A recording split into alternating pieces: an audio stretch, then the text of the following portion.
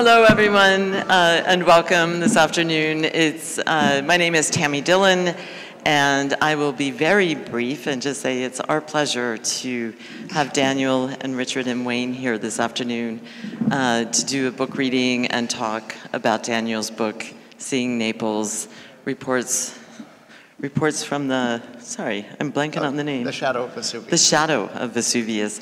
I had the pleasure of going down to New York last fall uh, for Daniel's uh, book reading and launch at the Drawing Center, and um, you're in for a treat. So thank you for coming, and it's my pleasure to introduce Daniel.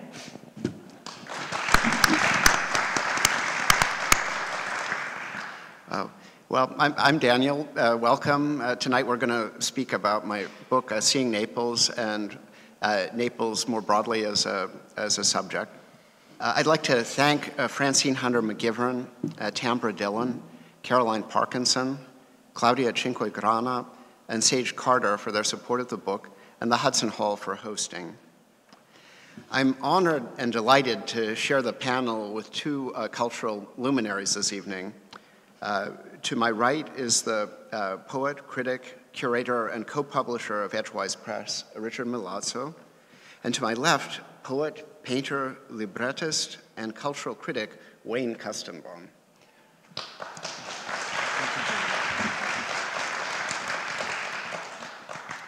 Uh, and I'd like to begin with some short readings from, from the book. Uh, I discovered quickly, I, I came to Naples with a Fulbright uh, scholarship back in 1990. And I quickly discovered that uh, public transportation was not going to um, enable me to, to uh, get around the, the city. So I, I bought a second uh, hand moped on the island of Capri, uh, took driving lessons in Anacapri, hundreds of feet above the ocean, uh, and then returned to Naples with uh, the moped in steerage. This is when I arrive at the dock in Naples, Rocinante, my, my moped. At the dock in Naples, I started Rocinante and gradually mustered enough courage to enter the traffic that had so frightened me on my arrival. Rocinante's headlight cast a pale yellow beam before me as cars sped by, passing me on both sides, at times brushing my clothing as my heart beat furiously. One false move would have been the end. But fortune smiled on Rocinante's wheels, buzzing me with a monotonous drone toward Piazza Carlo Terzo, and we survived the trials of that night. The next morning, after purchasing a heavy car chain to protect him from thieves, I sought a garage where my steed could board in my absence. Two blocks away, I discovered such a garage. It occupied the cavernous ground floor of a tenement into which hundreds of Fiats stood one next to the other. The fumes were overpowering, and the guard dogs that rose to meet me did so in such a sluggish manner and with such evident pain as to suggest years of confinement in that poisonous atmosphere. It was like passing into the mouth of Hades to be greeted by Cerberus. There were three hellhounds, limping, covered with oil, and missing clots of fur with open sores, but with expressions altogether submissive and benign. The garage's owner, Gennaro, whose family lived upstairs, passed his time playing Scopa with Neapolitan cards and chatting with sons and old men who happened by to visit and take coffee. This modern day Sisyphus spent his workday manually pushing Fiats and Vespas into the nearest possible physical proximity and later removing them. Once I had settled the business, I filled Rocinante with gasoline and sped off to enjoy my newfound freedom of movement under, speeding under a canopy of drying laundry in lower Naples. A motorino in good weather will take you from one end of the Parthenopean megalopolis to the other in 20 minutes. One has simply to master the technique of weaving through backed up traffic in 12 inch space between parallel cars or making detours onto the sidewalk past women who nervously clutch their handbags. Of course, there are shortcomings to driving a motorino. Once I ran out of gasoline on a Sunday when no gas stations were open and had to push Rocinante from the Villa Comunale to the Piazza Carlo Terzo, a three hour affair. In the in the rain, water often bathes the spark plug, causing the motorino to die wherever you happen to be driving. And of course, you can always be hit by a car. It happened to me twice. But unless you're extraordinarily patient, it is the best way to traverse Naples. This is a visit to the uh, Academy of Fine Arts. Several days after my arrival, I walked to the Neapolitan Academy of Fine Arts, located in a small piazza off Via Roma. Its massive doors stood open, flanked by cast iron lions that were covered with graffiti denigrating the faculty. I walked up the steps and was greeted by the concierge, who was seated in a little booth to my right. He was a small man with a brutish forehead, scars, and missing an eye behind his glasses. He set down his soccer magazine and, with a prominent limp, shuffled out of the booth to greet me. I asked if I could see the courtyard of the academy, and he ushered me in. I later discovered that communist legislation of the 1960s favoring the employment of former convicts had actually given them priority over non convicts, and that the maintenance staff of the academy included wife murderers and highwaymen. in the center of the courtyard stood a pink gazebo of wrought iron in which peacocks strutted back and forth. Rather than hiring new faculty or improving the facilities, the director of the school had decided to beautify this building which, in the feudal tradition of European academia, had become something of his own baronial estate. I later gave a series of lectures at the Academy and discovered that the director was very much like the figure of Kerensky in Eisenstein's October, emulating the movements of a peacock. I took my leave, descending the steps into the piazzetta, where I sat down on one of the numerous granite blocks that served as benches. The unsavory gentleman who moments ago had been seated in his booth was now outside supervising the work of a starveling who was scrubbing graffiti off the lions. The new man, equipped with soapy water, appeared to be an emaciated heroin addict, and only with great difficulty was he able to dip his sponge into the bucket and drag it over the lion. To my left was the Galleria Principe di Napoli, the oldest in the city, built between 1876 and 1887. Lovers, was, lovers were seated around a ledge that followed the interior contours of the gallery. They embraced, kissed, and playfully slapped one another in public view between the prominent thoroughfares of Via Broggia and Via Foria. In my piazzetta, children played soccer, maneuvering the granite blocks from time to time, and from time to time kicking the ball dangerously close to the convict and his lackey.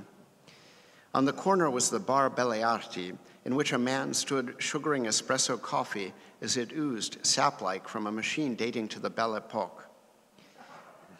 After filling five or six cups, he sat them on a tray and gave them to a teenage boy dressed impeccably in a white apron and hat who carried them past the soccer players and up the stairs, disappearing into the academy. In a corner of the bar sat its proprietress, dressed in a tiara and black dressing gown. With dignity and bearing, she dispersed a delicious perfume of ground coffee by fanning herself. She watched the barman's every move, calling to mind the Neapolitan proverb a horse gains weight only under its owner's watchful eye. Uh, and finally, the, the last reading a visit, a visit to Egidio.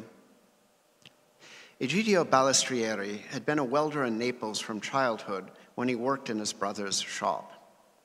Before and after the Second World War, he worked at the Neapolitan shipyards, building and repairing damaged vessels, and in the 1950s, he opened a shop of his own in the industrial quarter. Egidio is a portly man with pinkish flesh who merrily breaks public ordinances and sings Neapolitan songs as he welds. We met one morning around 10 o'clock. Egidio had arrived dressed in a suit and tie and proceeded to change into his white workman's overalls.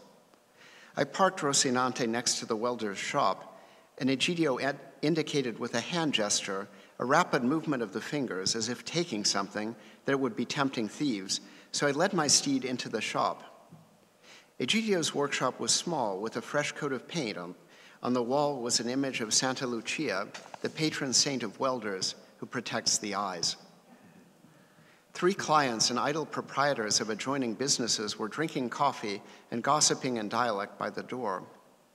Egidio consigned a newly mended engine block to a mechanic and his assistant, who loaded it into the back of their shaky Ape buggy and started off down the wrong way of a one way street. A policeman wandered in to greet Egidio and gossip with the others, but Egidio brusquely ordered him out of the way Carrying a piece of incandescent steel and pincers out of doors, he quenched it in water amid cackling, boiling noise, and rising clouds of steam. A 13 year old girl, holding her younger sister's hand, walked past the shop and received a lascivious glare from the six men who had hitherto been gossiping. I had come straight from the foundry, bearing a large pod like sculpture which needed to be welded. Egidio looked at me as though I were crazy. Americana, the American, he exclaimed. Egidio's cronies watched me with guarded curiosity. Egidio, Egidio's assistant dragged a perforated 50 gallon drum from the back, filled it with wood, and lit it with a welding torch. Egidio then grabbed the lip of the drum with pincers and dragged it across the street as cars zipped past him at high speeds. The assistant threw my sculpture in and let it preheat before welding and returned to help with other tasks. Egidio has a keen analytical mind. In precision welding, the most difficult task is in preparing objects to be welded, ensuring that they don't move or shift under the heat of the torch. He prepares jigs, clamps, claws, and elaborate wiring systems to keep these objects still. For Egidio, welding is more like an instinctual function than a learned skill.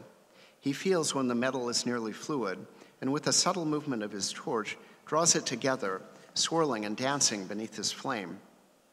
Egidio withdraws the torch, and the metal, as if deprived of life, chills, yielding its color and movement, becoming a dull, ashy seam.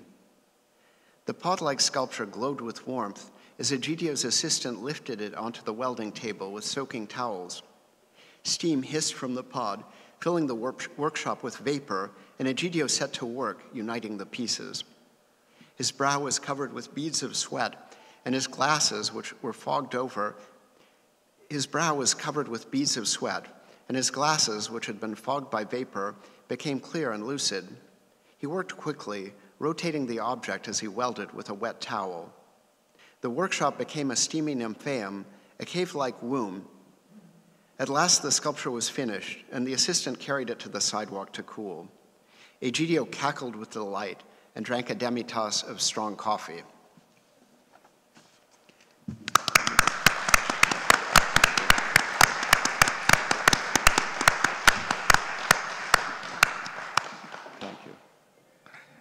So beautiful.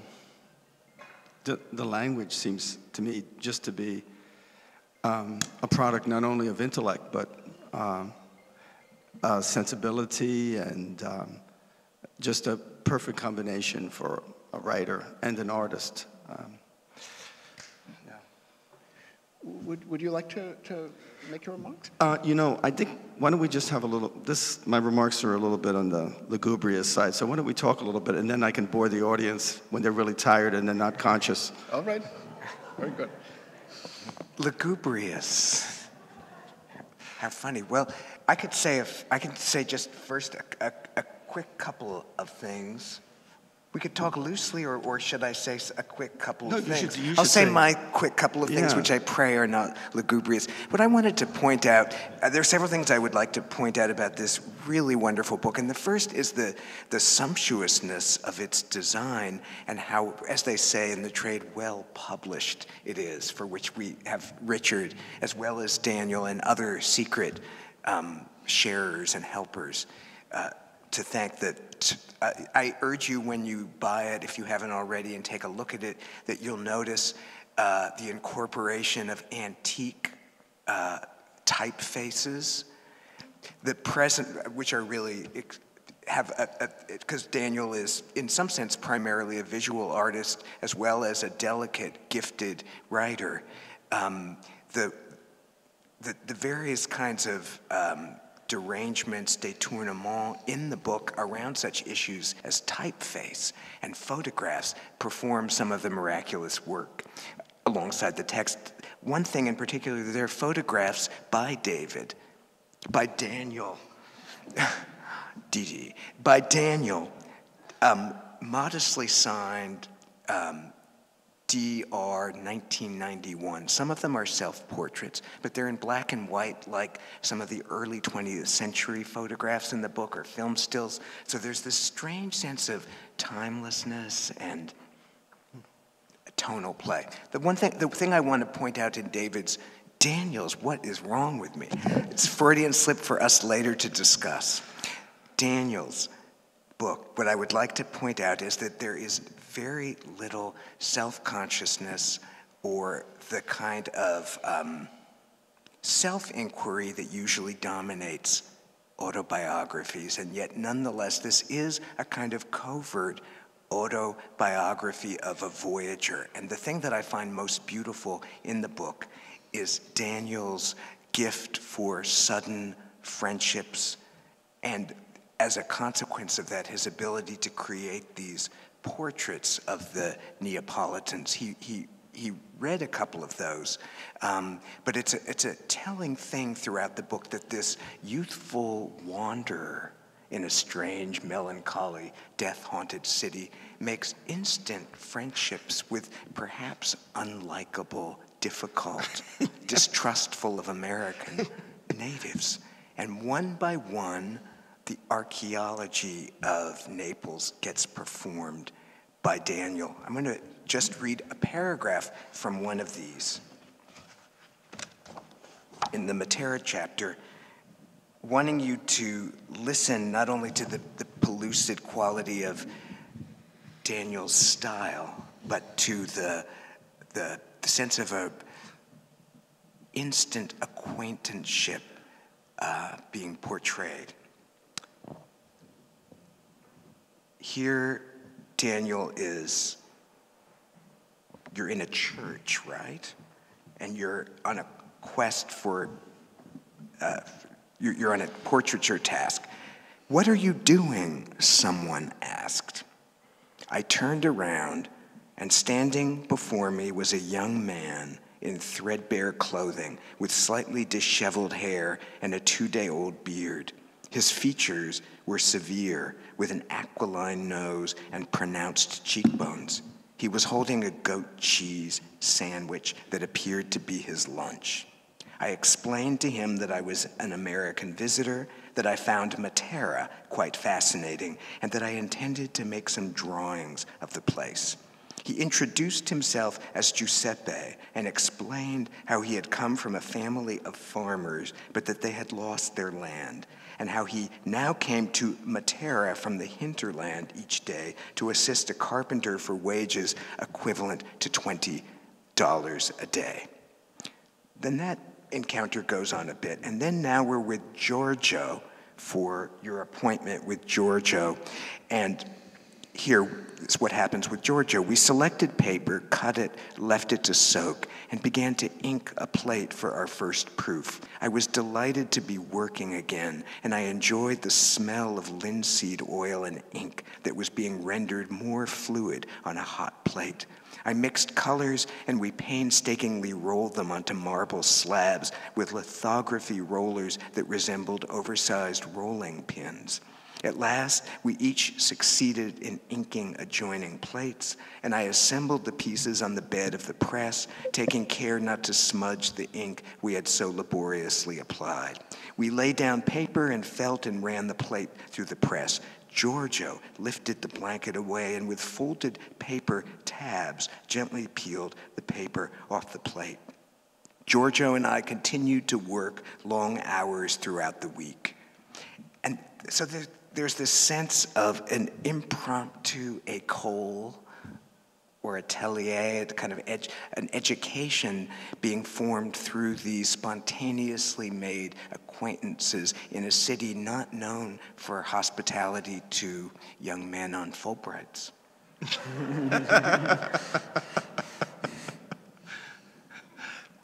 um, to, for Daniel to get a compliment about his writing and the beauty of it and the insightfulness of it from Wayne Koestenbaum. And forgive me, I don't want to sound, make this sound like we're a mutual admiration society, but for Wayne, who is himself a superlative writer, who I would, and I barely, uh, rarely ever give this kind of compliment, who I might compare to someone like Nabokov or Joseph Conrad, who was a marvelous non-English writer, a, a non-English person writing the best English prose uh, ever. Uh, it's a great compliment uh, to Daniel and a much deserved one coming from Wayne. Um, a, couple of, a couple of things. Um, Rocinante, what does it mean and how did it come about that you would call your moped that? Oh, a friend had, had quipped that uh, the moped was Rocinante, with uh, Don Quixote's uh, steed. Uh, and in, in, fact, it was very horse-like. The, the moped is, uh, you know, is much better suited to the vicoli, these, these slender alleyways of Naples, than, uh, than a car. So, so it made sense. But there was something quixotic about the, about the whole project and my sojourn in Naples. Yeah, yeah you know, I, when, when, I, um, when I first encountered your, your, your, your, your um, your, your, your moped. I, I, thought of that wonderful film about uh, uh, Castro when they're going around the, they're traveling from uh, southern uh, part of South America all the way up to the northern part, up to, through Mexico. I don't, know, I don't know what the name of that film is. Um, yeah, it's just a wonderful film, and I kept thinking, that's kind of like Daniel a little bit. Um, Wayne, I just wanted to, and Daniel, I just wanted to uh, say one thing now that comes to my mind, which is um, I would like to tell you how the book came into my hands as a co-publisher. By the way, one of the, the other co-publishers is Joy Glass, and she's over there hiding. And the other, uh, the other co-publisher is Howard, Howard Johnson, who couldn't be here today. Um, and and uh, just for self-promotion's sake, we've been in Edgewise is a small press that's been in existence since 1995. And you know, the half life of presses in America is 15 seconds or something like, in actuality, 10 years. And we've been around this long. We publish very few books, but we, we try to do the best that we can with those books. And I would add publishing very important, um, permanent canonical books in, at the intersection of art and writing. And it's it's great to see you in this company. A great, great honor. I, I was uh, completely uh, gobsmacked that I. so I, want to tell you the story about how the book. It, it's a kind of amusing to me anyway. How the book. Uh, uh my response to the book originally. One other, th- one thing I want to add to Wayne's comment is that what I love most about the books we do is that they're sewn and they're sewn, so that when you open them 30 years from now, they don't just 15 minutes from now, normally an American made, American manufactured book, you just open it flat and it falls apart. Our books will be around for far longer than we will be. So, um, but you know, Daniel originally sent me the book uh, for an endorsement, and I hate endorsements. Um, so I don't like doing that. And I started reading the book, and I was so taken by the, the writing uh, the, the, the, subject matter, but, but the writing itself, that I contacted Daniel, who I'd known for a number of years, and said, gee, would you mind awfully much if we tried to publish this book? And, uh, and, he, and he was open to it, and he was a marvel to work with because um, just, just um, it was a complex book, a, a complex project to do, and what made it even more lovely was that we would meet at um, Hasaki, which is, I'm sure some of you know, in Manhattan, a wonderful Japanese restaurant, which is becoming more expensive every day. Um, and we would sit there and, and plan like two soldiers what our next steps were, and it was just a marvel. Do you want to read your, oh, sorry. Well, I, I would just like to, to mention also that th this work had a very long gestation. I mean, it was written over the course of 20, 25 years, but Richard, who designed the book, and uh, did so very um, with, with great care, and there was that temporal dimension of, of two years in the in, the design process. And Richard has suggested that we use a Neapolitan typeface. I, I did some research and had difficulty finding. Uh, finding one, but then I, I, had a book that had been published in the 18th century in Naples, and I scanned the typeface, recomposed it, but the elegant um, design of the book is Richard's uh, doing, and it was such a such an honor and a pleasure to. You, you know, I'd like to. I like that sounds like a compliment, but let me tell you what the truth is. I'm obsessive compulsive, and so every comma in a book matters to me. And uh, I remember once publishing a book that used um, hyphen, you know, uh, hyphens at the end of the line, which is not uncommon uh, for broken words. And someone years ago said to me, You know, Richard, you, you, you, you pride yourself in what you do, but you're, you're awful. I said, Why am I so awful? Tell me why. He says, Well, you have insects all over your books. Uh, and I didn't know what she was talking about, but then I realized when you look at the books, usually the, those hyphens, unless you, of course, sometimes you have to custom insert one because uh, there'll be too many rivers and lakes in the text. But the minute I became conscious of the fact that those little hyphens were like just an abomination, uh, so it's really about obsessive compulsiveness. It's not about anything else. It's really about an illness. I mean, there's the, the, the question of revisitation is so ripe in this book because there's you, there's the revisit, there's visiting as a young person a city that is ancient, layer after layer of it, and then they're finding the different historical layers of still living people who are there. And then there's now you reviving a project from much earlier in your life and bringing it to light again in this new body. And so the, the, the sense again of, arche- of personal and um, global archaeology in the book is very rich and is captured, I think, by the. Uh, the very look of the book with the antique typeface and then like just th- to narrate three pages of photos that are in a row. Statue of the river god Nile in Piazzetta Nilos, circa 1991, photo DR. there's a sense of for, things forensic about this, like DR is not our friend here, but a spy.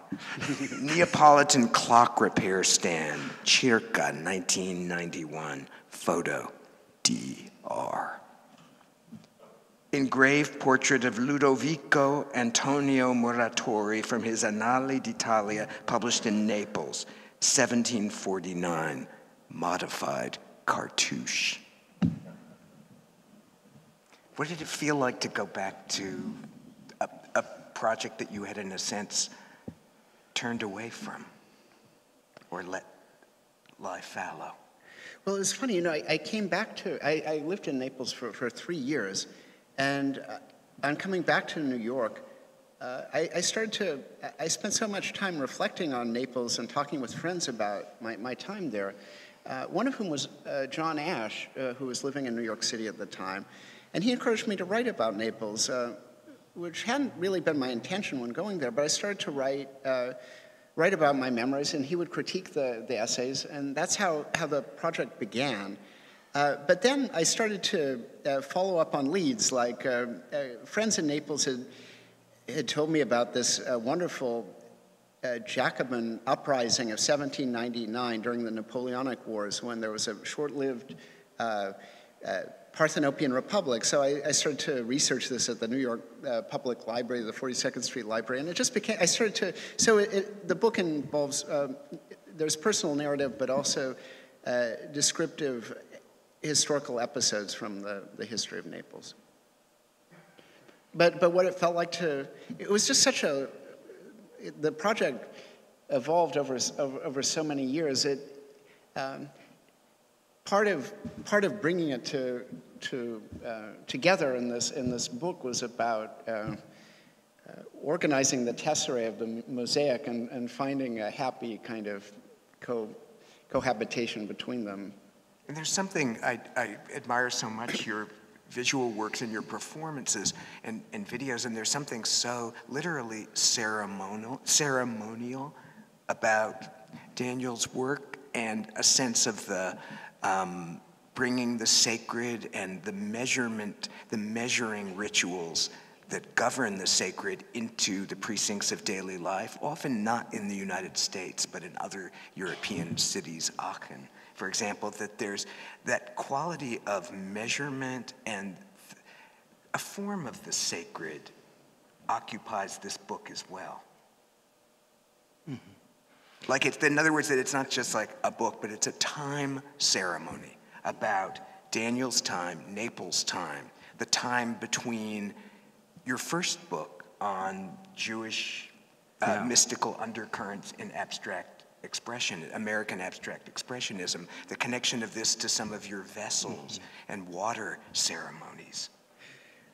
I think you noticed also in the the forward that it, it, it's something of a, of a performance, the, the, the sojourn in, Naples. Uh, it certainly did. I mean, there is a ceremonial aspect of, of life in Naples, certainly. I mean, it's, a, it's this ancient culture, and people take great pride in whatever they do, like, like this welder who, was, uh, who elevated uh, you know, his craft to the, to the level of, of high of artistry. And and the, the barista who, who makes the coffee, what, whatever you do, it's like a meditation. It's something that, uh, and there's a lot of uh, ceremony in Naples. People dress, people go out, you know, uh, they, they enjoy, uh, you know, seeing and, and, and, and being seen and, and walking in the evening, you know, arm in arm. And uh, it's, a, it's a very theatrical culture. I mean, the Baroque was, uh, is the quintessential artistic expression of this city, and it's, it's, it's everywhere in the streets, but it's also in this kind of theater of the, the people, uh, so much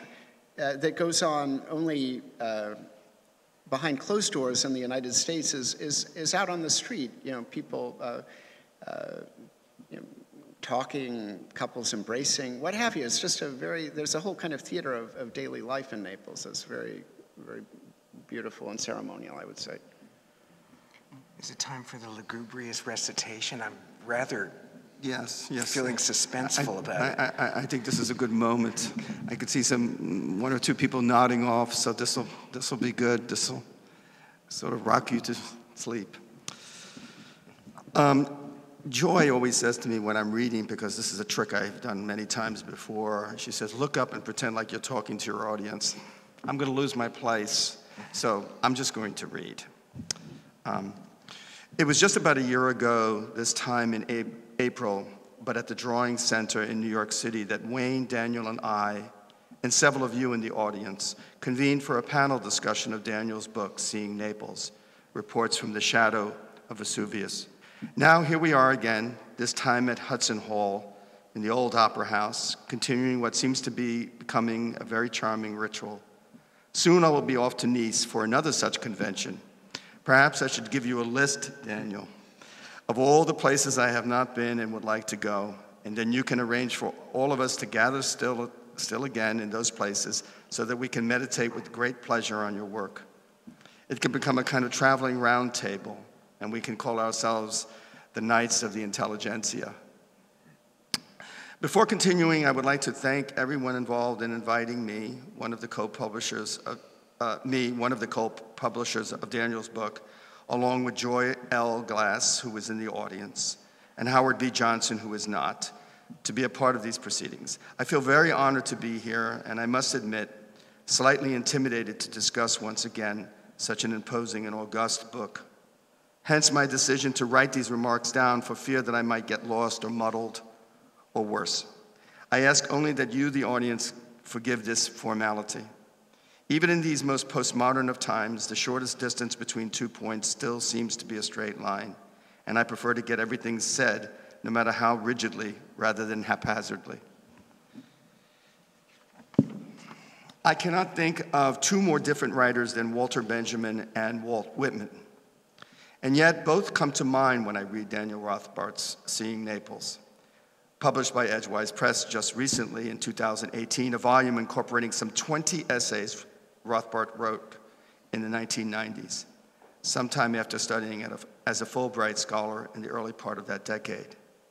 A generally uninspired, sluggish, and self righteous decade it was, coming on the heels of the flamboyant and decadent 1980s. How right Daniel was to jump on his motorino, metaphorically speaking, and head for Naples. In any case, Walter Benjamin, a German Jewish thinker born in 1892, was insular, eclectic, and what we today here in the States might describe as an intellectual elitist, interested in any number of fields philology, theology, history, literary criticism, and philosophy. Although, as Hannah Arendt once pointed out correctly, he was none of these things, neither a philologist, theologian, historian, literary critic, nor a philosopher. He was somehow a composite of all these things, but not a jack of all trades and a master of none. He was rather a master in his own right.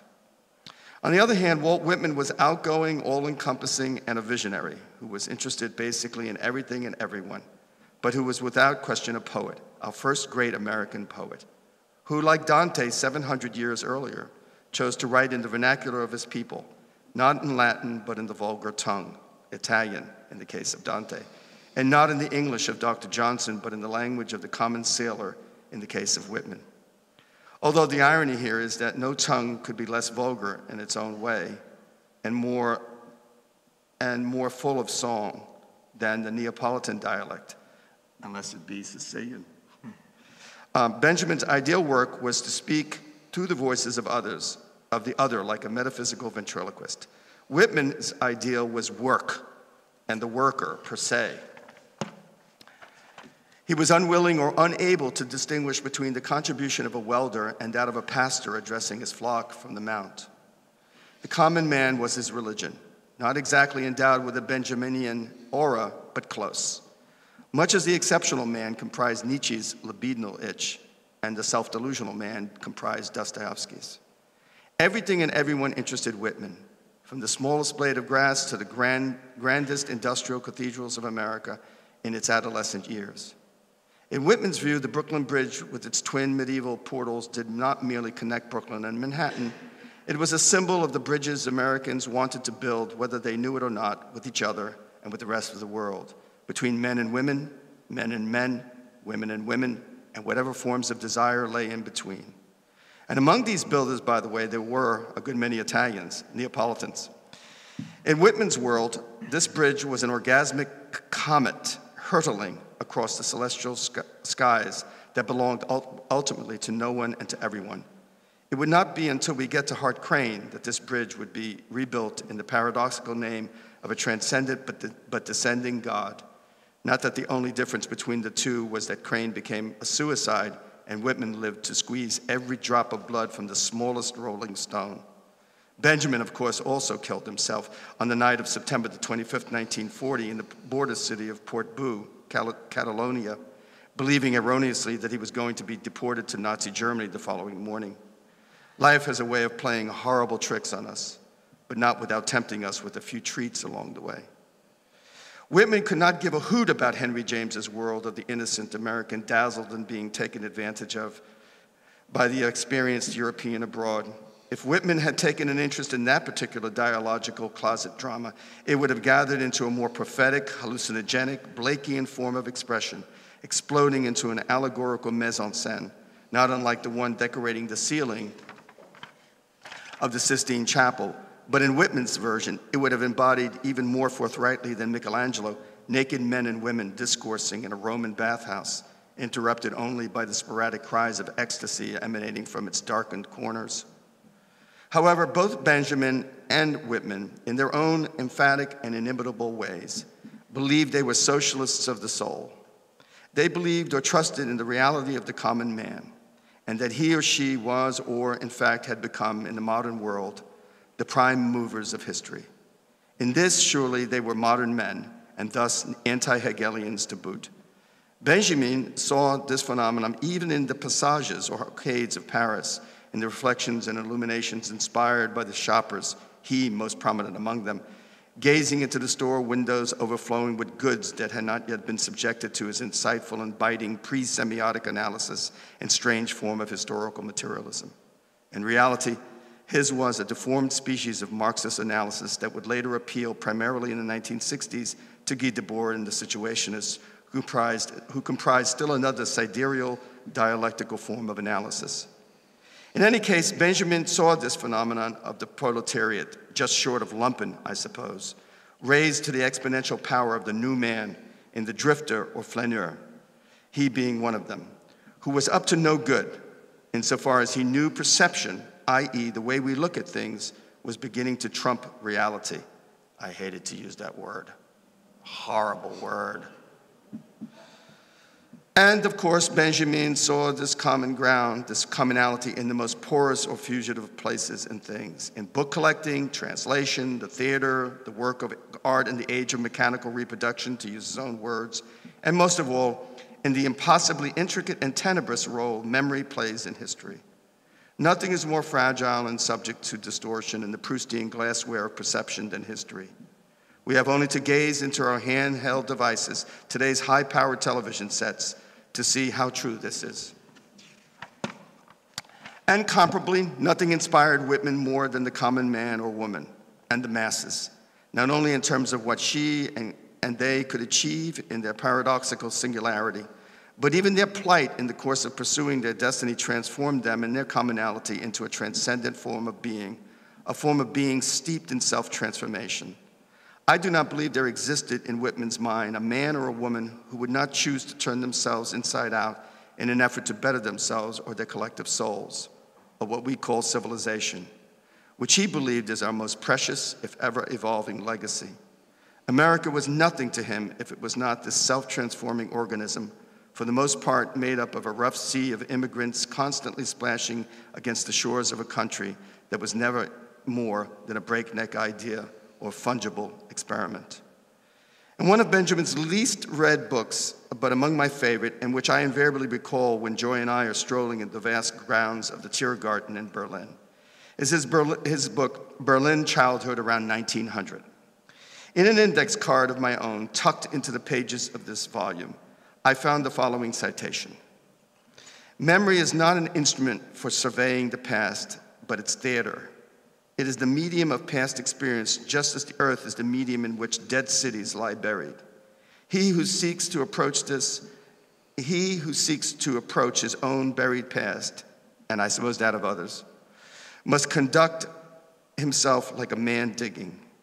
Whitman would have loved this image of a man digging, but where Benjamin was interested in digging up dead cities, Whitman would have enjoyed seeing a shirtless laborer, the sweat dripping down his broad shoulders and back, digging deep in behalf of a new world and the spiritual skyscrapers of its future.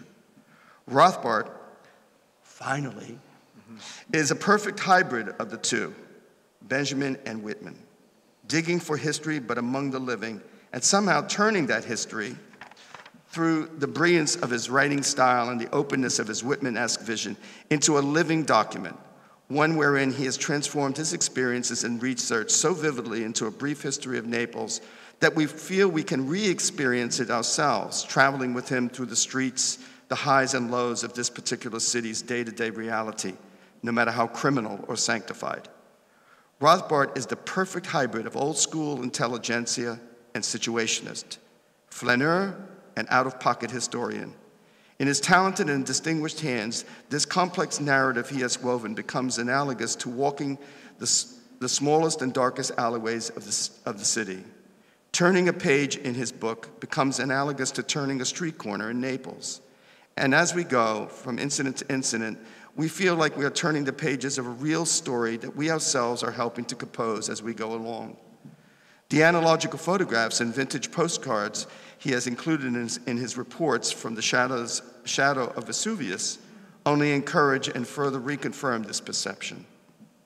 Rothbart's Seeing Naples is not just a book of travel writings.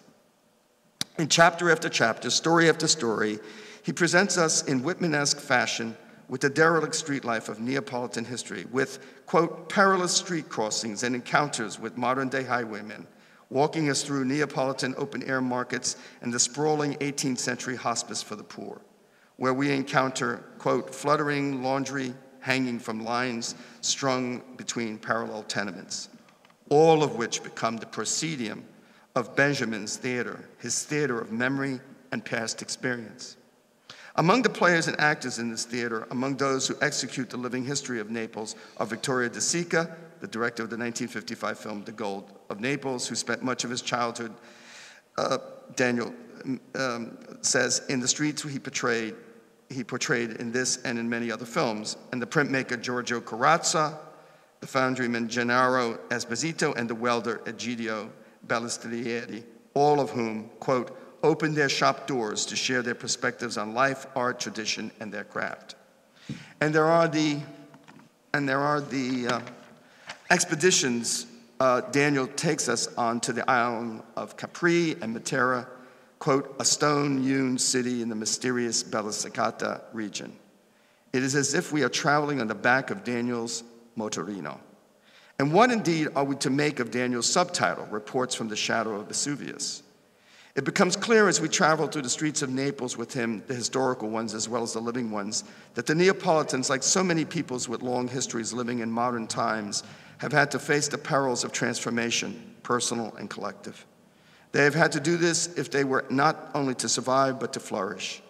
Vesuvius is a mere symbol of the constant threats the Neapolitans have had to face persistently from within their government, but also from without from the Camorra and from the church, from the past and from their future, namely from their understandable inability to change and from the worst kind of urban development. Like the traffic in Naples, which comes at you from all directions, these threats are relentless and omnipresent, And within a, within a conspicuous culture like Naples, they are all the more visible, even to an outsider like Na- Daniel, who, however, lived in the city for three years. His reports are the authentic thing.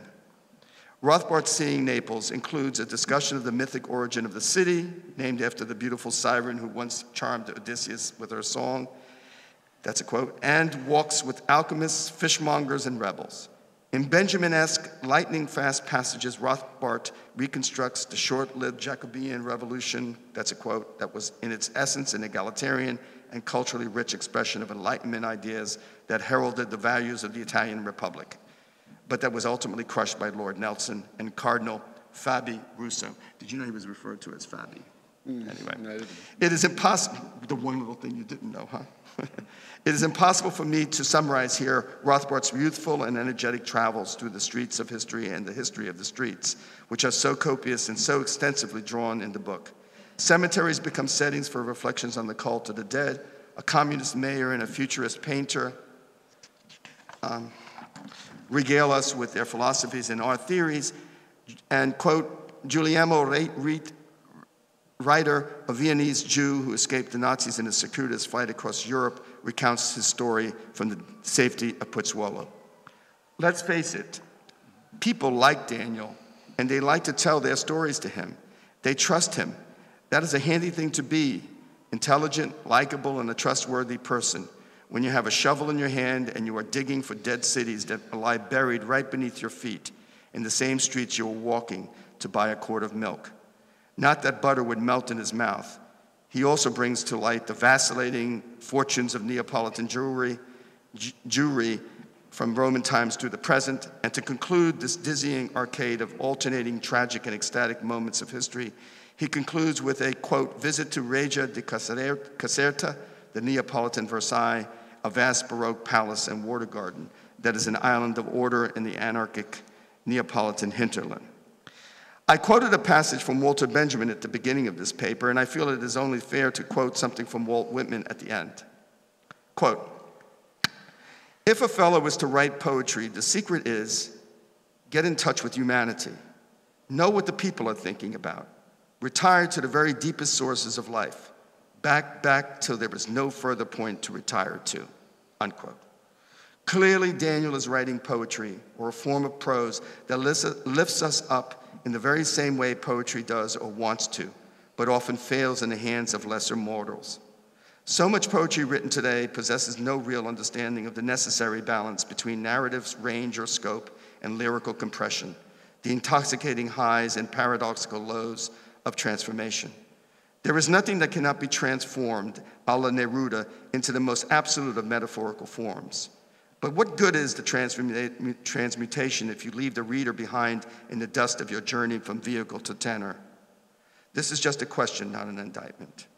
When we can import this balance, when, when we can import this balance to the writing of history or to a travelogue with historical dimensions, then we have stumbled upon something very special. And this is what we have before us in Daniel's case. If the secret of poetry is getting in touch with humanity, as Whitman says, then once again, Rothbart has done just that in the pages of Seeing Naples. The book overflows with in depth exchanges as well as nuanced contiguities. But I suspect Whitman had something else in mind when he spoke of getting in touch with humanity. I think he meant getting in touch with our humanity, with the part or parts of ourselves that make us, you and me, human, ideally both inside and out, or, or more human, more than we would otherwise be if we did not strive to become so. This can only mean reaching inside, where we cower or leap with fervent joy, where we can either become consumed by false pride or exhume even a modicum of self respect that might flower into respect for others. I suspect by humanity he intended something along the lines of compassion, empathy, and a willingness to act not just in our own behalf, but in behalf of the best interest we all have in common.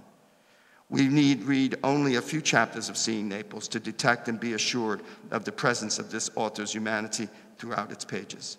A humanity that is specific in every way and yet universal in character. In page after page, we get the feeling that we know what the people are thinking about, whether they are historical figures in the stories Rothbart recounts or the Neapolitans he has the good fortune to meet during his many escapades. The figures in history are as alive in his narratives as the living ones he encounters during his travels and adventures. To flow back and forth seamlessly across the horizon line of his sentences, excuse me, they flow back and forth seamlessly across the horizon line of his sentences. It is manifestly clear he has retired to the very deepest sources of his life, of life, back, back till there is no further point to retire to. Whether those sources are historical, aesthetical, or psychological, in terms of Daniel's desire to enter into the minds and lives of the characters in his narrative. And by doing so, he enters our minds, lives, and hearts as we accompany him when we read this visionary, Benjamin-esque, Whitman-esque travelogue, Seeing Naples, Reports from the Shadow of Vesuvius, that is uniquely and poignantly his. Sorry it was so long. You're beautiful. Be-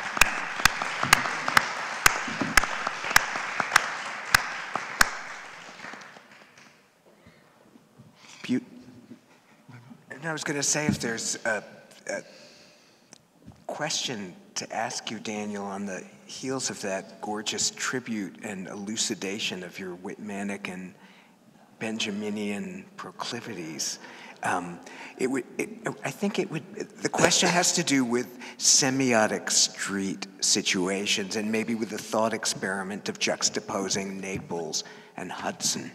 There's a, a from my introduction to this book, there's a, one line that overlaps or nicely with yours, um, where I describe Daniel. I'll just read the first sentence and then ask my situationist question. Daniel Rothbart is a master of serene coruscating surfaces and of the depths they hide artificer, flaneur, ruminator, wanderer, scholar, he seems not to inhabit contemporary time, but to dwell in several temporalities simultaneously, like Spinoza astrally projecting himself into the lithe body of a situationist, then backtracking to star in Ben Hur, and plummeting even farther netherward to glide on the never drowning raft of the Medusa. So the situationist note recurs, a city that is farther from situationism than Naples we cannot find. But like, so I guess this is like the, the game, the final game question is like, let's all think together, Hudson, situationism, Naples. Oh my. What do you think, Daniel? I'm gonna need some help. Okay, no, I don't know. Richard, you want to start out? Well, you know, I uh, first of all, the passage you just read from your your preface. Uh, do you, you guys? When's the last time you guys read Nabokov? Or you know, that's pretty luxurious writing. Um, you, you know, I'm, I've been so exhausted recently. I'm not sure I understand your question. Okay, yeah, maybe I'm. Maybe I'll just say. No, no. Put it. Okay, okay. The thing is, there's this gorgeous. There's this city, Naples, that maybe I've only been to once, and I had some terrible experiences there in a pensione and on a street where I, sh- I should not have tried to go with my little rented car.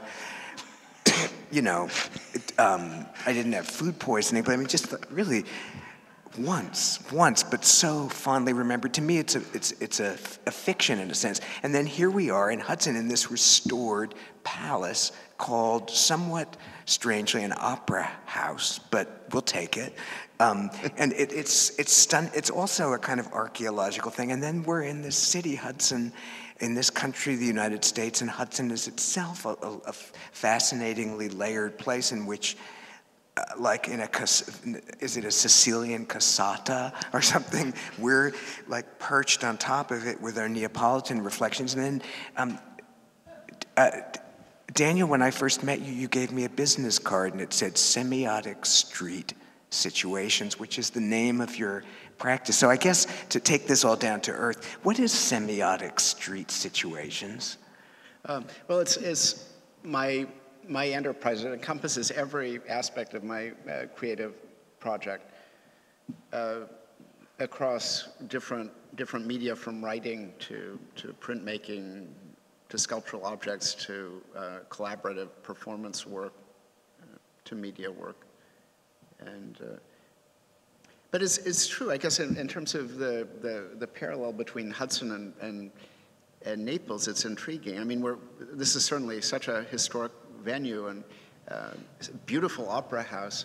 Uh, and I, I, think it's so appropriate, actually, I was reflecting that, what an appropriate uh, place to present Seeing Naples and uh, on the stage of, a, of an opera house uh, uh, with such a, a, a, librettist and you wrote a, wonderful book, The Queen's Throat, on, on, on opera. And, and of course, I, when I first met Wayne, Wayne told me that he had been to San Carlo and at the Teatro San Carlo and, and uh, heard an opera there, which I, I, later had the wonderful experience to, to do as well.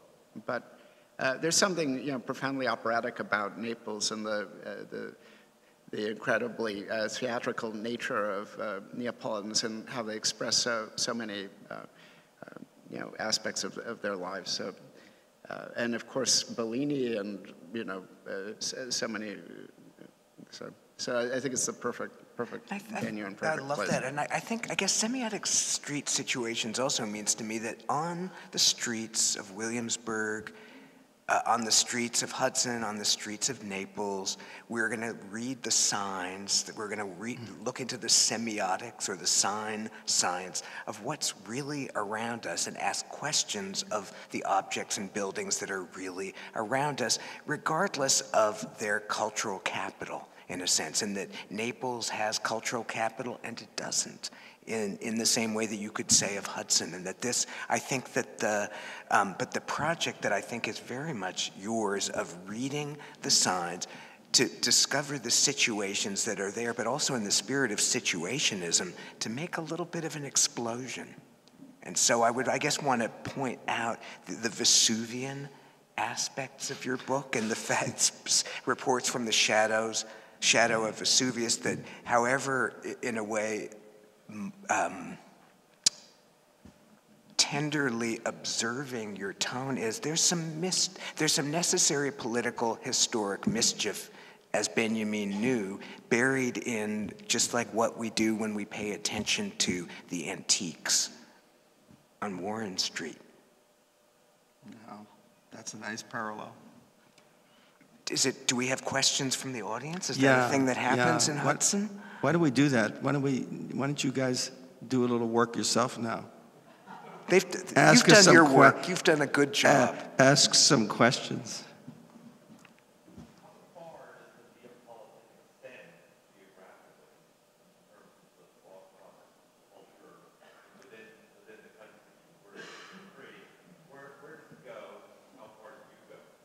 Uh, the question is, is how far does, uh, does Naples physically extend its territory within Italy?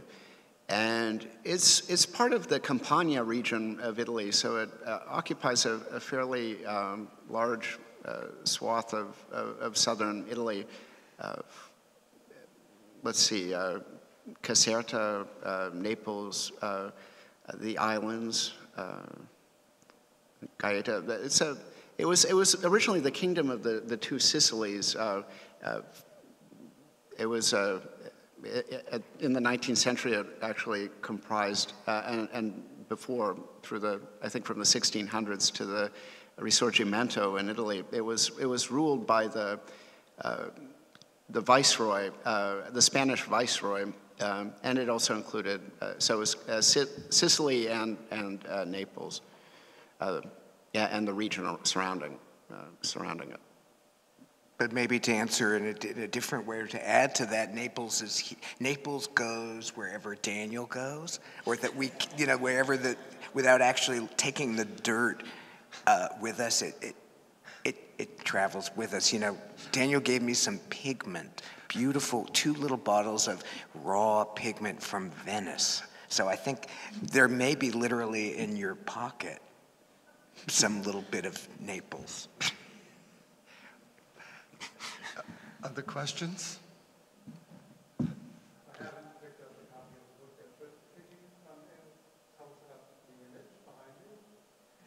Yes, yes. I, that actually that was an image that was uh, conceived by my wife, Francine Hunter McGivern, and we had uh, Richard and I had been working, working on the book and we were thinking about the, uh, what, what kind of uh, image could best exemplify this, this work. And she said there should be a motorcycle uh, in front of Mount Vesuvius. So I, I sourced the imagery and, and, played with the collage, but that, that was Francine's uh, inspiration.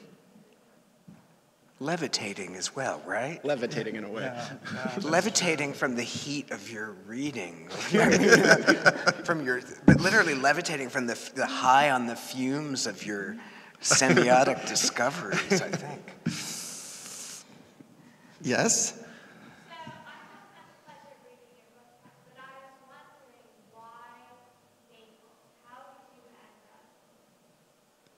That's a good question. You know, it's funny. I, I had visited Naples in a very kind of, uh, as a student, and what initially drew me to Naples were, were very, uh, the things that draw most people to Naples. I mean, it's, it's, it's, a very, it's extraordinary uh, Baroque architecture, museums, uh, natural beauty. But, uh, and I, I, applied for a, for a Fulbright grant. Uh, I was fortunate enough to be awarded uh, the grant. But then when I arrived, I quickly understood that this was a question of complete and utter immersion in a, in a city that demanded uh, uh an intense kind of uh, uh, it, it, there was no, I mean, you really, you had to be, uh, respond to the, uh, the rhythms of life there, uh, the cultural uh, milieu, the cultural, uh, uh, you know, I, I, had to quickly learn, you know, improve my Italian. I also had to learn some dialect. and then I had the interesting good fortune to meet people from so many different walks of Neapolitan life, from real hardcore proletarians to the first communist mayor of Naples. Uh, so in a funny way, it was, it was, it was great to revisit those, uh, those encounters and conversations and then commit them to paper in the form of the book.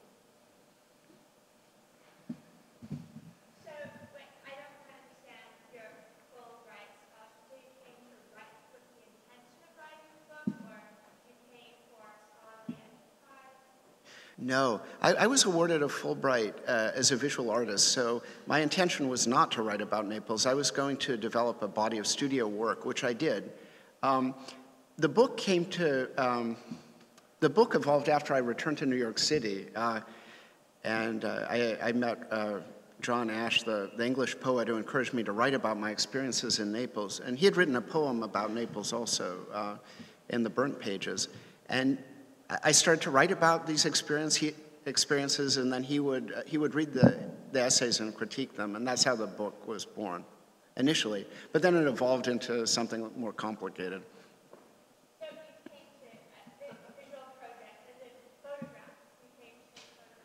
Well, that's the other thing. I'm, I'm, I'm yeah.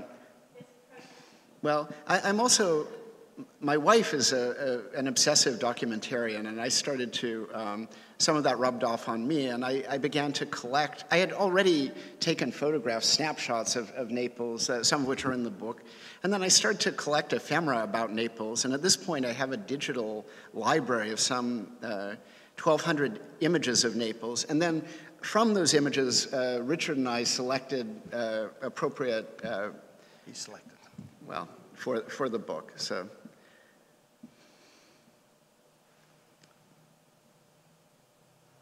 Any other questions? Yeah. Okay, there's one in the back and then over here.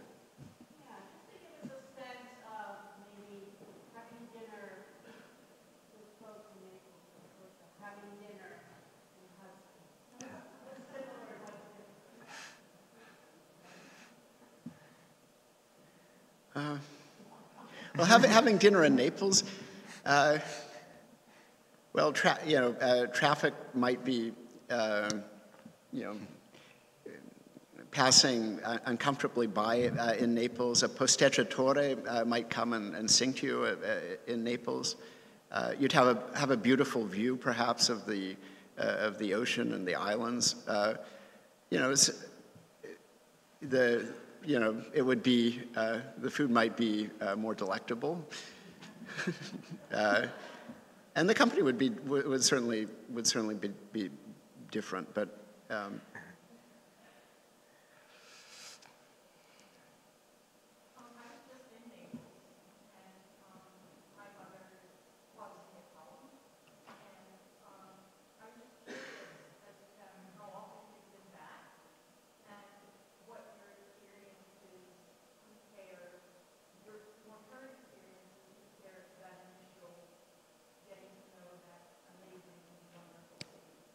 Yes, I, you know, I, I went back to Naples last year because we were, we were invited to, to present the book at the Museum and Royal Park of Capodimonte, which was uh, really overwhelming. And I hadn't been back to Naples for about 12 years. But when, when, I, when I returned to the city, I was shocked because it was, it, first of all, the, the traffic is one of the most distinct, you know, is so distinctive, or used to be, uh, so, so chaotic, and you had this, this movement in every direction that immediately kind of assaults your, your senses and gives you a sense of the vibrancy and vitality of this place. Uh, but nowadays, I mean, the, the city is largely, uh, uh there are uh, zone pedonali, you can only go, if, go by foot. Um, the Spanish Quarter, which is a rough neighborhood uh, off the Via Roma, which is kind of a fashionable shopping neighborhood, it's basically um, guarded. The, the, the, these vicoli that lead up to the Spanish Quarter are guarded by uh, Italian soldiers with weapons of war uh, to prevent uh, purse snatchings from the, you know, from the vicoli. And there must have been a murder while I was there because I was walking down the street and I heard in dialect uh, uh, this man from the court, from the uh, Spanish Quarter say they've closed off the whole neighborhood. And sure enough, I, I walk a couple more blocks. There must be 400 uh, soldiers from the Italian army uh, who, who, are, who, have literally closed off the neighborhood of the, the Spanish Quarter. And, you know, so, so it's, it's kind of a controlled um, uh, uh comfortability for, for tourists. Uh, but it, and, and another thing that was kind of an odd experience, I was walking in the historical uh, center to, to visit a church with a Caravaggio. And I heard this beautiful, uh, kind of melancholy uh, song that, that I used to hear that, you know, th- these kind of Arabic strains, beautiful, uh, kind of mysterious uh, notes that uh, and I used to hear that all the time when I was living there in the early 90s. So I, I followed the, the music. And it, it, was a man who was singing, but not for his own pleasure. And he would, uh, he, there were tourists now in, the, in, in, Naples. So, so he, would, he would lower a basket from his window, and the tourists would put money in the basket, you know. So, yeah, very different Naples today, but, but still the same, too, you know. Still the basket. Still the basket, yeah, yeah. what about the traffic lights? Do they have any function? None whatsoever. No, okay, that hasn't changed. Just, just a couple of comments. Um, you know, when Daniel's talking about, you know, going to see this Caravaggio, you know, in Palermo, which is a city which used to really be out of control, kind of like the way Naples is, even to this day, there was a Caravaggio, but then it was stolen. so it was gone. But the Palermitani are really strange people because they, where the Caravaggio was is, of course, a giant shadow. And they, uh, when you go into the church, if, you, if you're uh, engaged, uh, uh the priest there, and he'll talk about the Caravaggio. He'll point to the Caravaggio in the wall, the shadow, where it once was. Um, and then um, uh, the other thing I wanted to say about Palermo, you know, uh, Palermo used to be a really kind of perilous city like Naples, and then it became kind of, today it's become a kind of um, rather, rather tame in a weird way. You have to go to Catania to, to look for trouble. Uh, but you still find trouble in, uh, in, in, Naples, right? You could, your vehicle could be stolen if you don't pay the pizzi. You, am I right? I mean, is, is it, still, it still has a vitality to it. It's not like Palermo. Palermo, you can get your camera stolen, but it's not, not what it once was in terms of it's not the 42nd the Street. good old days of purse snatching. well, the good old days of 42nd Street, you know, they're gone. It's, an, it's a good analogy, I think. You know? Is it? I think the, the, the roughness of, of Naples was very, part of its uh, part of its charm, certainly, mm. and, yeah. and fascination. Uh, but and, and in fact, when we presented we presented it at the Museum of Capodimonte, Riccardo Notte, who is one of the, the people, friends who I describe in the book. Um, he, he, he's a professor at the uh, Accademia di Brera in Milan uh, and a cultural anthropologist. And he's, he, he made remarks about the book, but one of the things that he was concerned about was that uh, he, he was you know, he, he was worried that too many concessions were being made for, for tourism and that in fact the city had to, had to maintain its, uh, its distinctive character. And one of the things that really uh, impressed me when I arrived in Naples was that uh, Italy, Italy had largely been uh, assimilated into a, uh, I mean, the for example, before the Risorgimento, uh, Naples was all these different principalities and, and, each had its own kind of dialect, and, and the radio helped to uh, bring about what Pasolini referred to as a, a pianificazione culturale, a, a cultural flattening, uh, linguistic flattening. But not in Naples. Naples absolutely, adamantly um, uh, persevered in maintaining its, uh, its cultural uh, distinctiveness and identity. And, and I, I, have enormous respect for the Neapolitans to, in, in, accomplishing that. And I'm a little concerned about the, the, the well-being that tourism brings. I mean, there's certainly more money and affluence. And one of the things, that, I mean, is, is positive too in a certain respect because Francine, my wife and I were walking al along the, um, uh, near the Spanish Quarter and we saw this, uh, uh, this sign, uh, uh, Benvenuti ai quartieri spagnoli. Welcome to the Spanish quarters. This is a tough neighborhood. You wouldn't want to walk into the Spanish quarter before. But all of a sudden, there's kind of a sense of national, or, you know, uh, of pride in, in, in, welcoming people to this place. And this is, this is our, you know, this is our home and welcome. Well, Baltimore is charm city. Yeah. so it's that kind of thing, I guess. You, before I take your question, you know, the thing about, one thing about Palermo is I, I became so desperate to find perilous, the perilous Palermo of old, that I would go into the Arab quarter, quarter which to this day is uh, a precarious place to walk through. And the marvelous thing about the Arab quarter of Palermo is that all the signs are in Arabic. Amazing. I mean, I'm walking around in a place where I don't know. Well, my favorite places in the world, of course, are places where English is not spoken. Oh. And uh, there you are in Palermo in a little section where um, uh, and one other thing, I'm sorry about bringing up Palermo, but it is related to Na Naples very, very much so, unless we talk about Catania. Uh, you, something which people don't know is that to this day, when you go to Palermo, even for all of its civility, there are still ruins from the Second World War. And to my knowledge, it's the only city in Europe that I've ever uh, seen in which the, the buildings that were bombed are, are swept into neat piles and then a fence is built around them, and then they just stay there. And they've been like that since the war. Unbelievable. I mean, if you want to see traces of the Second World War, go to Palermo. Daniel, I don't know if to, to perhaps to wrap up, or to, to, what was the phrase that you used from Pasolini? Oh, pianificazione culturale, a cultural flattening. Yeah, I just it feels like one a, a really great moral from this book is, is it's a manifesto against cultural flattening. Yeah. And that we could add Pasolini to Benjamin and Whitman yeah. as kind of poets of poets, revolutionaries yes. Yes. of cities. Yes, absolutely. That's wonderful. Yeah, that's true. Beautiful. So you should, there's copies of the book for sale back there, and it, it, it is sewn in a way that it will it is sewn in a way that it will never decay. Yes. yes. What, what, Both the prose and the pages. Uh, what, just a, another five minutes. Ralph, yeah. you yes. have something?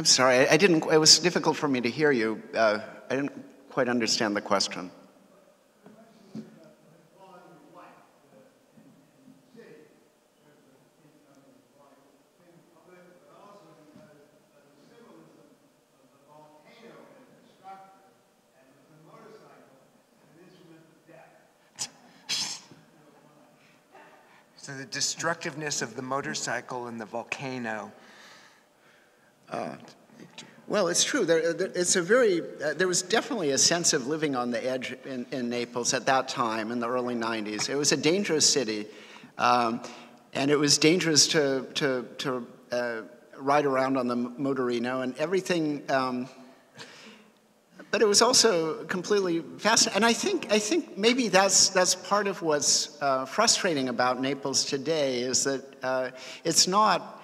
Uh, I mean, there's more affluence, but but there's less uh, that, that that kind of uh, grit uh, is is is starting to um, to fade and, and Yeah, I just want to make one point about what Wayne said. You know, uh, whenever you bring up the name Pasolini in Italy, uh, most, many refined, refined people and culturally very refined and know, knowing people will immediately critique you and say, you know, Pasolini this and Pasolini that. He was a great reporter, but he was not a great poet. He's not a great writer.